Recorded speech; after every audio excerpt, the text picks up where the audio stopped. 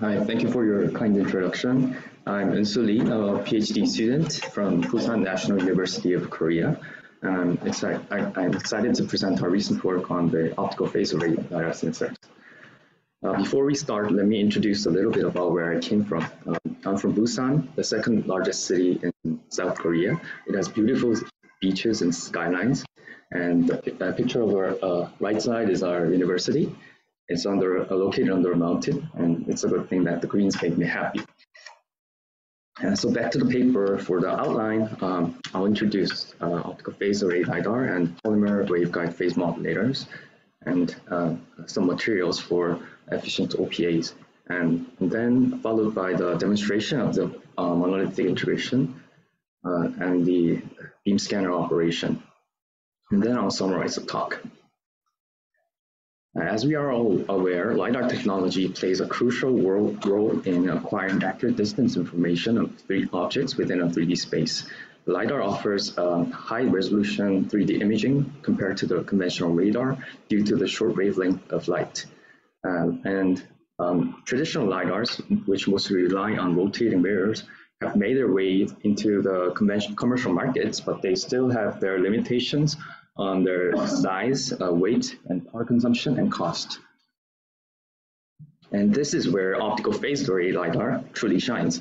OPA LiDAR uh, offers a solid state solution that enhances reliability by eliminating the mechanical components. Instead, OPA LiDAR utilizes optical waveguide arrays that are integrated into a compact chip. Um, and the fundamental principle behind uh, OPA LiDAR is the utilization of phase modulator arrays um, to manipulate the phase distribution, distribution of the waveguides. And when all the waveguides are in phase, um, a beam is formed and propagates in a single direction. And um, when additional phase distribution is applied, a beam can be steered. An OPA chip typically uh, comprises of uh, optical source, a power splitter, and phase modulators and beam emitters. So silicon photonics has undeniably been the mainstream of OPA research, and the inherent advantages of silicon, such as its high refractive index, enables the fabrication of small waveguides with uh, sub-wavelength pitches below one microns, and this translates into a wide field of view of an OPA. Moreover, the compatibility with the CMOS pro, uh, fabrication process has been a major driving force in this area. Uh, nonetheless, one um, critical challenge of the OPA is the nonlinear absorption effects. Um, so, so rendering uh, renders them unable to handle high optical power.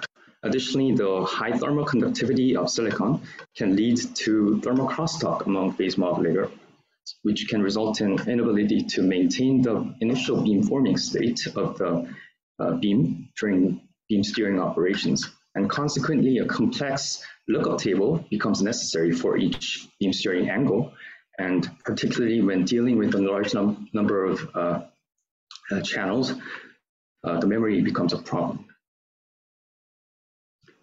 So silicon nitride is an alternative photonic platform for OPAs.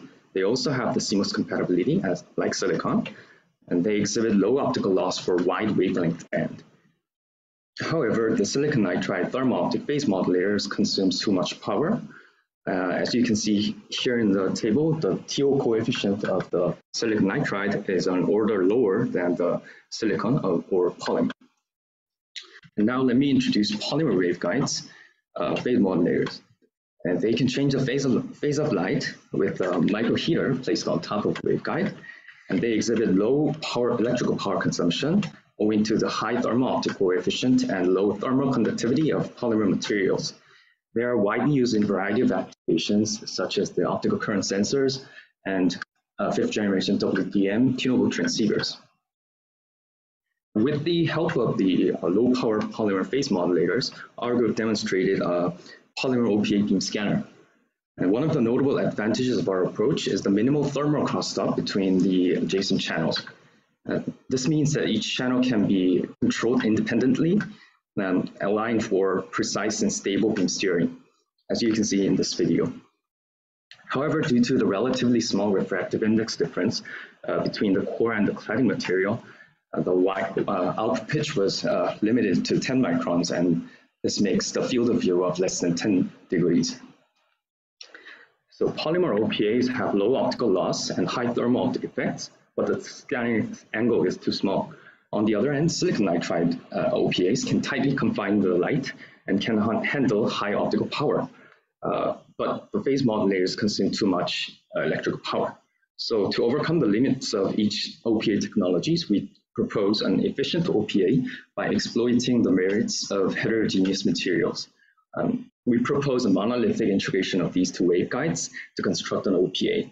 Uh, the silicon nitride uh, comprises the power splitter and the emitter, and the polymer waveguide produces low power phase modulations. The waveguides were designed for 1550 nanometer wavelength, which has an advantage of eye safety for uh, LiDAR application. Uh, and, and you can see here, the mode sizes profiles of the two waveguides differ a lot in size. So in order to connect these two waveguides with low loss, we designed a tapered waveguide that induces adiabatic mode transitions. Uh, as you can see here, the uh, polymer waveguide mode overlaps with the mode of the silicon nitride waveguide placed adjacently. And the guided mode is then adiabatically coupled to the silicon nitride core. Uh, we came up this little nice structure called the oxide interlayer that can be made by PECVD deposition and RIE etching so as to reduce the uh, effective index difference of the silicon nitride waveguide to be close to that of a polymer waveguide at the start and at the end of the taper. And the transition loss was calculated using 3D BPM, and the loss was, uh, and we optimized the thickness of the oxide interlayer, and the, this loss could be reduced to 0.2 dBs when the residue was about uh, 0.3 microns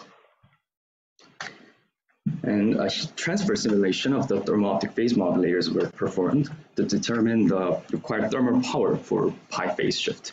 The p pi, of the given structure was uh, 19.7 milliwatts, and uh, we calculated the transient response, uh, and, and, the response time was about 61 microseconds. And there was no thermal crosstalk between adjacent channels for uh, channel pitch of 20 microns.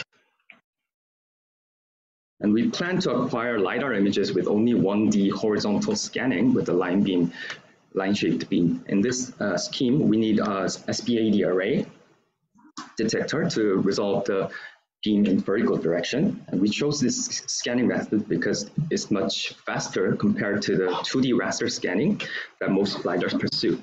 And for 2D beam scanning, uh, you need uh, grating antennas or tunable lasers, which are other challenges.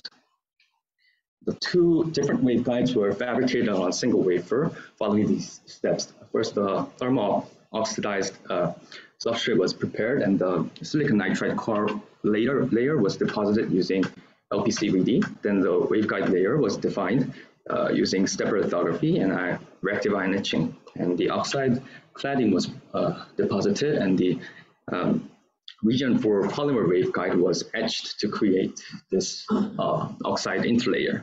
And then a fluorinated polyimide solution was being coated um, over the silicon nitride waveguide pattern. And the uh, uh, polymer waveguide was defined by contact lithography and oxygen plasma etching. Uh, the upper cladding was polymer was spin coated and cured, and then a microheater was formed on top of the polymer waveguide microscopic image here shows the uh, point where two waveguides were aligned. Uh, this is the silicon nitride waveguide, and this is the poly polymer waveguide. And you can see the taper uh, narrowing down to the end. And um, you can see the polymer and uh, silicon nitride waveguides well aligned in this uh, cross-section SEM image. And then this is the output and phase set of the proposed OPA. And the loss of the uh, adiabatic mode transition was measured from the waveguides with same length but different transition numbers. We prepared uh, these patterns for different length and found the slope of each um, taper length. And the transition was loss was um, 0.2 dBs for taper length over 200 microns. And the measured transition loss matched well with the design results and low, low loss connection between polymer and silicon nitride waveguides were achieved. We characterized our phase modulator with a Mach-Zehnder interferometer uh, consisting of a silicon nitride input and silicon nitride output. And the polymer waveguide was uh, connected through these uh, tapers as the same as the OPAs. And um, the half-wave power consumption was uh, 25.7 milliwatts and the extinction ratio was over 20 dBs. And 10 to 90 uh, response time was measured as 74 microseconds. So uh, 32-channel OPA was now packaged for demonstration. We pigtailed the chip uh, with an ultra-high numerical aperture fiber, and then a cylindrical lens was attached uh, to the end face of the OPA to reduce the vertical divergence of the line beam. Because we don't need a large divergence, a vertical beam size for OPAs, we, do, we reduce the beam size to uh, beam, angle about, about seven degrees. And then the device was packaged on uh, aluminum uh, case, and then the PCBs were wire bonded. Uh, and here you can see the near field of the 32 channel OPA, and the total throughput of the device was minus 5 dB to uh, conduct the beam scanning experiment, the output uh, beam uh, from the OPA was scattered by the uh, polycarbonate screen, as you can see here, and this rear camera was um, observed. Produce the in-phase status of the phase uh, OPA to form a beam like this, and uh, rotating element vector me method was used. And subsequently, the beam was scanned horizontally by applying a phase, uh, phase distribution over the polymer phase mod modulators. And this is an um, image of um, letters behind the polycarbonate screen observed by the SRAY camera. And to obtain the beam profiles of the far field, uh, the beam power was, was measured using a slit of 30 microns covering an optical power meter uh, placed on a rotation stage. As the beam was steered to the maximum scanning angle uh, of 15 degrees, the main beam power dropped by 1.3 dB, and the side lobe suppression ratio was uh, about 7.4 dB minus, and the horizontal and vertical beam divergence was uh, 0.8 and 6.8 degrees respectively. So in conclusion, we utilize the strengths of polymer optical waveguides and uh, with superior, thermal optic effects and silicon nitride waveguides with uh, strong model confinement uh, while complementing the weaknesses of each technology. And uh, law loss connection was achieved between the two waveguides and the uh, 32 channel OPA beam scanner was demonstrated. And our research goes on to the reach goal of demonstrating a 128 channel OPA. And we hope our work inspires further research and development in the field of LiDAR sensors. And thank you for your attention. And